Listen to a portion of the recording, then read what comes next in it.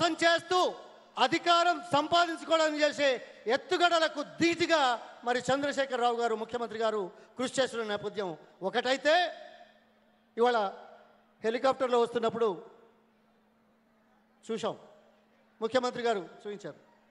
మల్లన్న సాగరు ఆ తర్వాత ఈ ప్రాంతం అంతా ఏ రకంగా పచ్చగా కనపడుతున్నదో చెర్లలో నీళ్ళున్నాయో అదేవిధంగా ఈ నియోజకవర్గం ఒక్క నియోజకవర్గంలోనే ఇది నేను చెప్పి గొప్ప కాదు ఏడు రిజర్వాయర్లు తీసుకొచ్చిన విషయాన్ని గుర్తు చేస్తూ తద్వారా ఇక్కడ ఉన్న అన్ని చెర్లలో నీళ్ళు నింపుతూ పచ్చదనం నింపి అత్యధిక ఉత్పాదన కొనసాగిస్తున్న నేపథ్యంలో ఇది ఒక ల్యాండ్ మార్క్గా ఉంటుంది. ఈ కాలంతో పాటు ఈ రెండు విషయాలు.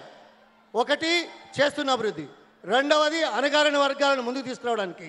ఈ రెండింటి నేపథ్యంలో ఒక చారిత్రక అవసరాన్ని మనం గుర్తించాల్సిన అవసరం ఉంది. ఈ ముఖ్యమంత్రి గారిని చంద్రశేఖరరావు గారిని మూడవ ముఖ్యమంత్రిగా చరిత్రలో మరొకసారి నిరూపించాల్సిన అవసరం ఉందని కాదు ఇది దాంతోపాటు ఈ ప్రాంతానికి సంబంధించిన ఒక్క విషయాన్ని గుర్తు చేస్తున్నాను. ఎందుకంటే ఇక్కడ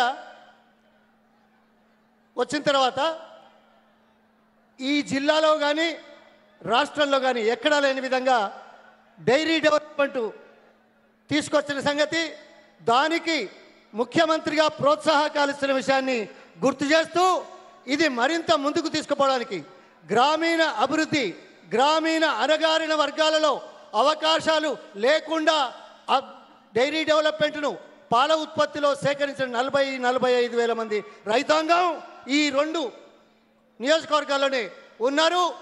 రాష్ట్రంలో తెలంగాణలో సుమారు నా లెక్క ప్రకారం ఎనభై వేల లీటర్ల ఉత్పత్తి జరిగే ప్రాంతం మరెక్కడా లేదు. ఇక్కడ దానికి అనుగుణంగా మీరు దయచేసి మీ మరిన్ని అవకాశాలు సృష్టించాల్సిందిగా ఉద్యోగ అవకాశాలు కల్పించాల్సిందిగా మరి గ్రామీణ ప్రాంతంలో ఉన్న వారికి ఆర్థికాభివృద్ధికి అండగా ఉండడానికి చేసే ప్రయత్నాలు ఇప్పుడు ఉండాలని కోరుకుంటూ మీ అందరి దగ్గర సెలవు తీసుకుంటాను. ధన్యవాదాలు. థ్యాంక్ యూ థ్యాంక్ యూ అన్న. Thank you thank you